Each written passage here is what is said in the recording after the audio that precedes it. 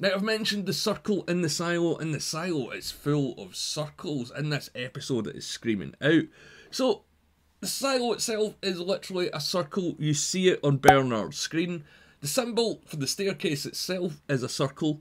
The only sort of belief that they have they describe as the circle of life, kind of. The lights in Bernard's office are circular as well, and Jules's badge for being sheriff is circular, and of course, the Earth's orbit is circular, and we're going to get to the stars thing in a moment.